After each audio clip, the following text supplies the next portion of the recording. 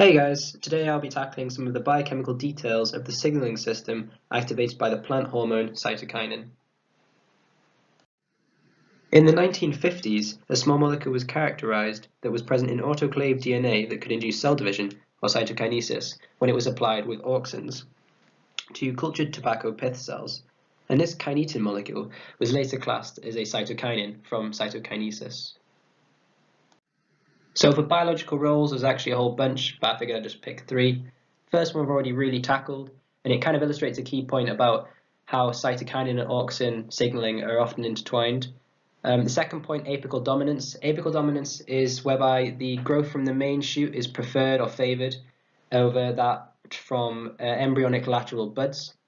And so cytokinin actually can stimulate these lateral or axillary bud outgrowths, which is antagonistic to um, auxin signaling.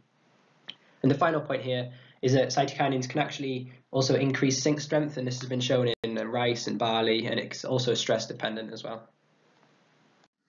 The parent molecule cytokinins is adenine with substituents that can be added to the N6 atom, as shown here with kinetin, which was the molecule derived from the autoclave DNA experiment, but also with trans-zeatin, which was the first discovered naturally produced cytokinin which has an isopentenyl group ligated to nitrogen 6.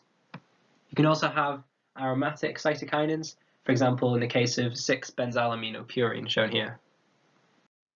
Moving on to synthesizing a cytokinin, I'm going to look at trans-zeatin specifically, and we need first of all the adenine base from ATP or ADP. ATP is just shown here for simplicity, and we also need an isoprene unit. Now there are two routes we can get an isoprene unit in plants. We can either use the most commonly used pathway, which is a methyl erythritol pathway, or we can use a mevalonate pathway using acetyl-CoA as a building block. Then we need to ligate this activated isoprene unit onto nitrogen 6 of adenine, as shown here, which is catalyzed by isopentenyl transferases, or IPTs. However, the product of the reaction isn't exactly what we want. We first of all need to hydroxylate the isoprene unit with a cytochrome P450 enzyme, and then we need to cleave off the phosphate groups and then cleave the bond between the nitrogen of the adenine and the ribose sugar using a log enzyme or lonely guy enzyme. And this finally creates our cytokinin trans-zeatin and also ribose 5-phosphate. Moving on to looking at regulating cytokinin levels in the plant by catabolism, we're going to start with cytokinin oxidase enzymes. Now these are FAD utilizing enzymes, so they use the oxidizing power of FAD to break the bond between nitrogen 6 and the carbon atom of the isoprene unit. Now, these enzymes are substrate specific, which means the reaction won't work for things like 6-benzylaminopurine as a cytokinin. And what's also important with these enzymes is the different isozymes the plants have. So Arabidopsis has seven CKX enzymes with one vacuolar and two extracellular, just to illustrate the fact that there's also subcellular localizational differences between the different isozymes. You can also change the activity of cytokinin by adding groups onto various functional groups. For example, we have N-glycosylation on N7 or N9, shown here, and this is considered irreversible, i.e. there's no reversing enzyme that's been discovered yet. You can also glycosylate the oxygen group on the isoprene unit circled now, and that creates a storage form, i.e. the glycosylated cytokinin can then be deglycosylated by glucosidases to revert it back to its active state.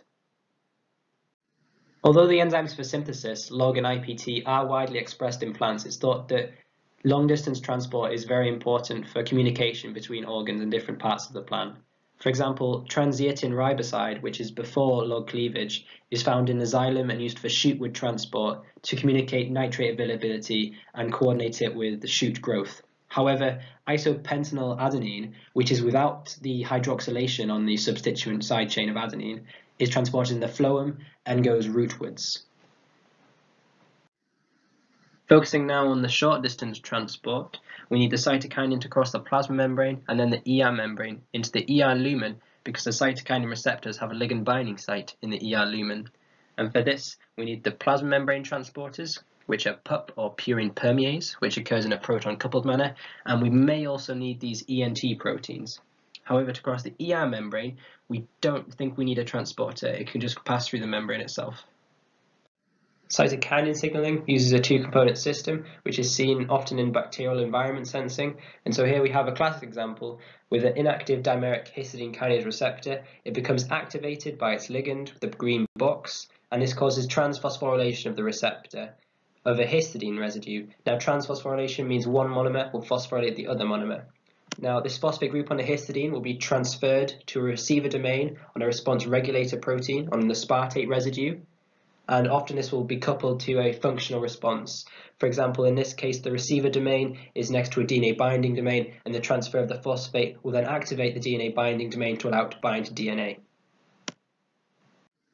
Now for some plant-specific detail, Arabidopsis has three histidine kinase receptors, AHK2, 3, and 4. They use a chase domain to bind a cytokinin, and this binding is in a pH-dependent manner, which is quite important given that the receptor ligand binding domain is in the ER lumen, and the endomembrane system of plants also has a pH gradient going through it. The affinity for these receptors for cytokinin is in the order of 1 to 10 nanomolar. This is equivalent to the endogenous levels we see in vivo, and the specific receptors show preference for different cytokinins, so this can provide specificity in the cytokinin response in a context-dependent manner.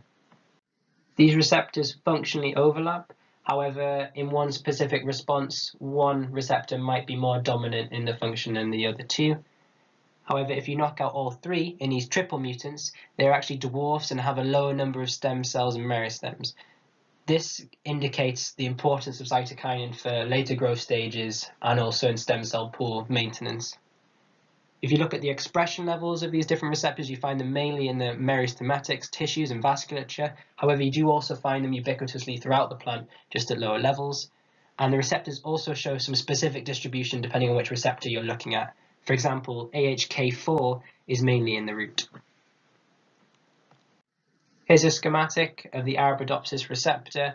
So starting from the N-terminus and going to the C-terminus of each monomer, you see that there's a transmembrane helix and a ligand binding domain, then another transmembrane helix, so these are two transmembrane helix proteins. Then C-terminal to that, there is a histidine kinase domain, which also contains a histidine to be phosphorylated in trans. And at the very C-terminus, there are some receiver domains. There's actually two, I just chose one because it's easier to put in a diagram, and these receiver domains contain aspartate residues, which will eventually have a phosphate group put upon them. Now tracking the signaling, we now see that there is binding of the cytokinin, there's a conformational change in the receptor to favor the kinase over the phosphatase. They leads to a phosphorylated histidine residue on the receptor itself. There is then a transfer of that phosphate from the histidine to the aspartate within the receptors in those receiver domains at the C-terminus, as I previously showed. And then there is transfer of that phosphate to histidines on histidine-containing phosphotransfer proteins, or AHPs. These are the intermediary proteins of phosphorelay. These AHPs are continually shuttled between the cytoplasm and the nucleus, regardless of phosphorylation state. And so overall, cytokinin activity leads to an increase in the proportion of these AHPs that are in the nucleus in a phosphorylated state. Now we've got these AHPs in a phosphorylated state in the nucleus, what can we do with them? Well, within the nucleus, there are also some response regulators called ARRs. Now, type B ARRs contain an autoinhibitory receiver domain and MYB-like DNA binding domain. So this is the classical response regulator protein. It's a transcription factor, and the receiver domain is normally inhibiting the DNA binding activity. So as we have a phosphate from the histidine on the AHP, as it's transferred to an aspartate on the type B ARR receiver domain, you then remove this inhibitory activity of the receiver domain, and this allows the MYB-like DNA binding factor to bind to DNA, and so allows the type B ARRs to alter transcription. There is another parallel system to this that has been recently discovered called cytokinin response factors, and they act downstream of the AHPs and parallel to the type B ARRs. Focusing now on these type B response regulators, they are transcription factors that use the MYB-like DNA binding domain, and the other domain is a receiver domain containing the aspartate residue, which will have a phosphate group on it. There's 11 of these in Arabidopsis, however, only five have been functionally linked to a cytokinin response. Now, there's quite a lot of genes that are expressed in the cytokinin response, so I just sort of chose three.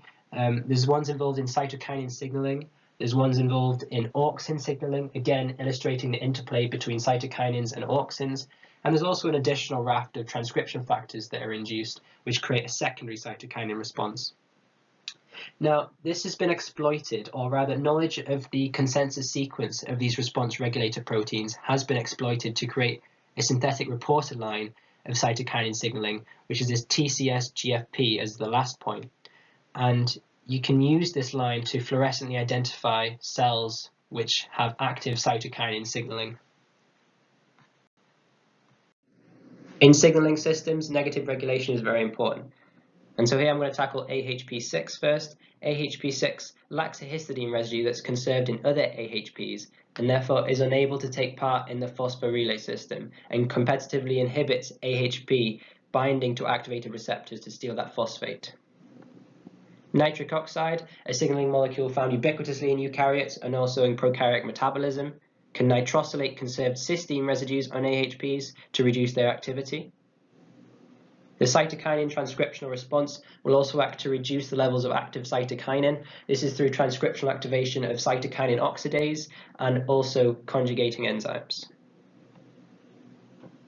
For type B response regulators, you also have regulation by degradation. So this is through polyubiquitination and then degradation in the proteasome. And for this, we need a substrate-specific factor from the KMD family or Kiss Me Deadly family, and then the SCF E3 ubiquitin ligase complex. Finally, the cytokinin transcriptional response also activates type A response regulators, and these inhibit type B ARRs, as will be shown. So, type A ARRs. There are 10 present in Arabidopsis, and they're reduced by cytokinin in two ways. Transcriptional induction by type B ARRs, and their transcripts take 10 to 15 minutes to become detectable, and also by stabilization in the phosphorylated form, which is present through the phosphorelay system that I've shown previously. Now the mechanism of their inhibition could be through direct competition with type B ARRs or it could be indirect through recruiting repressive factors. In conclusion, I tried to make a summary diagram showing this with cytokine at the top and a phosphorelay system branching off into both cytokinin response factors, type A response regulators and type B response regulators. Now those type B response regulators cause the induction of several genes, including those that negatively regulate the system, creating negative feedback loops, including cytokinin oxidases and the type A response regulators. So moving topic slightly, I'm going to talk about hormonal crosstalk. There's actually quite a lot of hormones that I haven't put on here. I've just mentioned some what I thought were the most interesting too. In regards to auxins, in the root meristem, cytokinin signaling correlates with expression of auxin efflux transporter, which means that cytokinin signaling can change the distribution of auxins in that organ and therefore change auxin action. However, in a different part of the root, in the root transition zone, auxins increase cytokinin synthesis enzyme IPT5 by repressing its inhibitor. This is a really good example of auxin cytokinin crosstalk and how it's context dependent. Another interesting hormone is ethylene, Ethylene is actually really interesting because it uses also a two-component system, just like cytokinin. However, in this case, cytokinin and ethylene are linked because the effect of cytokinin, i.e. root growth reduction, is mediated through ethylene, and both use two-component systems, so the signaling actually converges on some response regulators, which can obviously allow some crosstalk. So thank you for listening. I hope the presentation in this table proves to be helpful. There's some reviews and papers in the description and my next video will be on auxins.